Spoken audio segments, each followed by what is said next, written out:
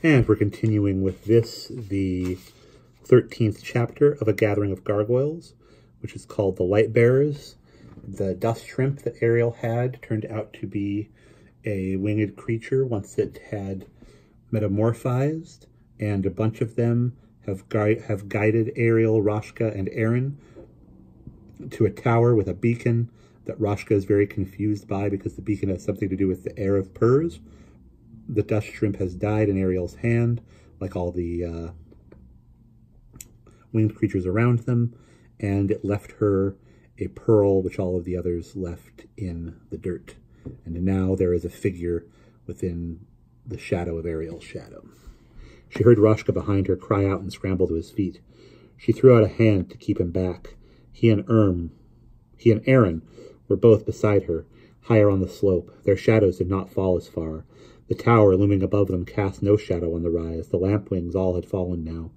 Ariel's shadow stretched before her like a road.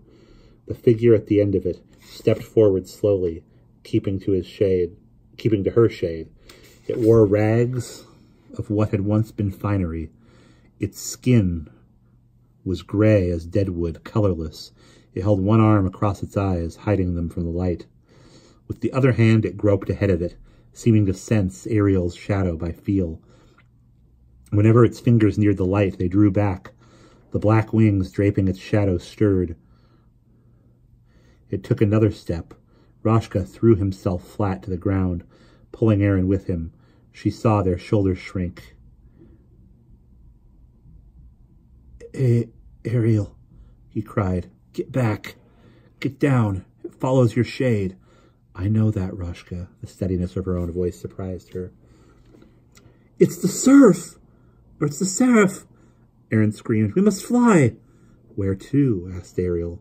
She did not turn. She could not take her eyes from the creature groping toward her. A quarter of the night remains. It is three dozen hours since Sol since Solstar rise. Till Solstar rise. We stand in the brightest light there is, and still it comes.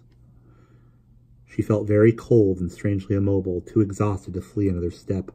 Her limbs felt as though they were turning to dust. It has found me by, by my shadow. There is nowhere left to run.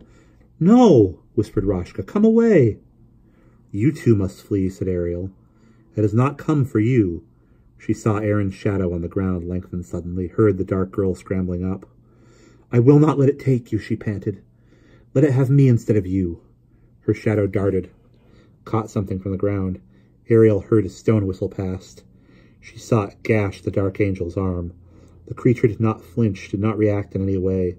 Its gray-white flesh refused to bleed. Aaron, no! Ariel heard Roshka cry. She could not take her eyes from the gray thing before her. The shade of Roshka's hand caught Aaron's wrist. Their shadows struggled. The dark girl seemed to be trying to rush forward. The dark angel came on. Oddly familiar, it was so like that other dark angel she had known, who had caught, who had carried her away from the steeps of Terrain. The Icarus, that Icarus had been beautiful, strangely vibrant, otherworldly fair. Aaron was screaming now, Roshka shouting above her screams. Don't look at its eyes, Ariel! They say it can kill you with its eyes! One arm still flung across its face. Ariel saw it grimacing, as though even the little light that reached it that reached it in her shade was painful to look at. The other arm groped for her, its black wings poised. She remembered vividly that other dark angel spreading his wings to her upon the steeps of Terrain to reveal a face so beautiful she had lost all nerve, all will, and would have fallen before him, begging only to serve him and die. The seraph of Purs stood within reach of her now, still in shadow, she clutched her walking stick to her she clutched her walking stick, her heart sick with pounding, and wondered if the seraph's stare would kill her before she could land a blow. The creature took its arm from its eyes. For a moment the lids remained closed, and Ariel saw with a start that its face was gray, more skull than flesh. All muscle had fallen away under transparent skin. Slowly the Icarus opened its eyes, colorless, strangely flattened like a fish's or buttons of glass. Only the pupils were black. Deep seemed to go were black, deep, seemed to go down forever into darkness. For an instant she almost felt she could grow lost in them, floating in their emptiness until she too became nothing. But the moment passed. After, a- after Ariel found herself strangely unmoved, no tug of power now, no surge of weakness in her limbs. Not even fear moved in her any more, only revulsion, for unlike the young unfinished Icarus that she had saved in Avaric, this was a true dark angel, an empty thing standing before her now. It had no soul. The creature fixed its, its gaze on her. Ariel jerked her staff up, holding its heel first like a throwing stick.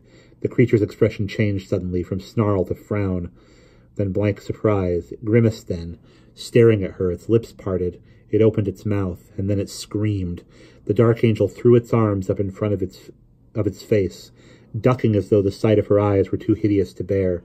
It shrieked and wheeled away from her, choking as if the air about her were somehow poison to it. Ariel stood frozen, her walking stick half raised, motionless in surprise. The witch's son stumbled away from her, down her shadow's path, its black wings beating erratically.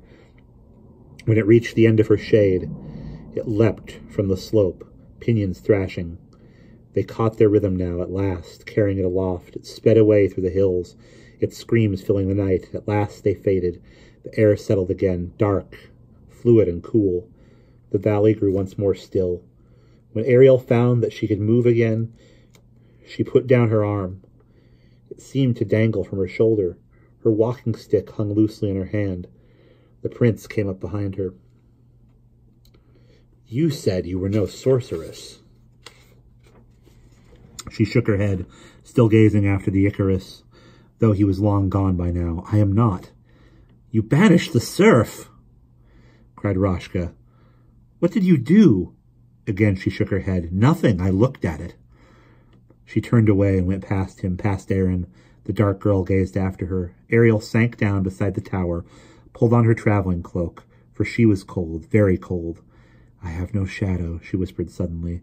She searched the ground for it, but could find it nowhere. Her head throbbed dully. She could not understand. I have no shadow any more. Aaron had gotten to her feet. What is this place? she demanded, this tower. She spoke to Ariel, but it was Roshka who answered. We call it the Torch, and it marks the road to Touraine. Once it blazed, they say, with a light like Solstar, but it grew dim over the years because people no longer traveled the roads on pilgrimage. He broke off a moment, gazed upward. Now it is lit again. A thought stirred in Ariel. When I came across the Sea of Dust, she said, I landed at a tower like this. Its keeper told me there were many such, all connected somehow. So that what fed one flame fed all. She remembered the apricot seed he had cast into the light, making it blaze. Roshka was speaking. But the seeing woman said that all Piers was in darkness because of my uncle and his seraph. The light would never return, she said, till the right heir returned. I thought she meant returned to power. I am the right heir, for my sister is dead. He looked at Ariel all at once, very hard, his green eyes wide and searching. She gazed at him, and he snatched his gaze back suddenly. She knew what had come into his mind just then, as surely as if she had thought it herself. The silence around them was cool and still. Then the night wind rose, stirring the air, sweeping the dead lamplings away. They lifted and swirled like transparent leaves. Only the pearls remained. Weariness crept over Ariel. She leaned against the tower. I must sleep. She closed her eyes, lay down, rested her forehead against one arm. She heard the prince exclaiming suddenly, Pearls! Aaron, look! As though they had only just noticed them. Aaron came, kneeling by Ariel. The dark girl touched her and said something, but Ariel was already drifting into sleep. When she awoke, it was to see Roshka gathering pearls. He had taken the turban from his head and tied the corners up. His hair was short and fair. Aaron was helping him. Why are you doing that? Ariel asked, sitting up. These are seed pearls, Roshka said. They are lampwings' eggs. The prince shook his head. The light bearers spring from the sea of dust. There are no young within these pearls, only mineral salt. Corundum, Ariel said. We must gather them, said Roshka, and take them to the high families, where these pearls are sown. The land will grow fertile when where these pearls are sown, the land will grow fertile again. Aaron left off gathering and brought Ariel something to eat. Ariel sat munching the dry, bitter lichen without interest, when abruptly she stopped, shielding her eyes. Gray figures appeared upon the valley side, not human, they were four-footed. My gargoyles, she cried. Grayling and Catwing bounded toward her down the slope, their strangely jointed limbs flexing and buckling, their skeletal bodies moving with an eerie grace. The other figure held off, mincing skittishly, a nest of horns upon its head. Mooncalf! Ariel called to it. Mooncalf! Then Grayling and Catwing were upon her, panting and rolling and nipping each other. Ariel knelt, ran her hands along their bony hides. They yipped and whined. Dry blood was on the Grayling's lip. On one of the Catwing's paws, Ariel halted suddenly. What have you done? she whispered, taking the Grayling's head into her hands, and then the Catwing's paw. What have you done? The blood was old and not their own. They have brought us a mount, cried Roshka. He whistled. Ariel looked up and saw the mooncalf descending the slope, herding before it a tall black horse, saddled and bridled, but riderless. It whinnied at the prince's cry. Nightwalker! The mooncalf skittered away, but the suzerain's mount came on, nuzzled the prince. He stroked the long crest of its neck. Nightwalker, my father's steed! Mooncalf, said Ariel again softly. Aaron stroked the other two, picked the blood from their fur. The mooncalf came nearer, approaching at last. It touched its gray nose to Ariel. Roshka bit the bit, or Roshka took the bit and the bridle from the horse's mouth, the saddle from its back. Nightwalker will carry us when we go, he said. The high families lie north of us now, and a little east. Ariel did not reply. She let the horns, or she let the hours of the fortnight pass in silence. She turned her she tuned her bandolin, thinking of the maiden's rhyme, and wondered how far it was to Orm. The heron disappeared into her staff, saying she was weary and would rest. Roshka gathered his pearls to fill Nightwalker's saddlebags. Aaron foraged for stone-like waterworts. Ariel collected seeds and lichens for their food, while the black horse and the mooncalf grazed the barren valley side. Disappearing from time to time, the other gargoyles seemed to do their own hunting. The fortnight passed. At last dawn broke in a white glare down the valley's length.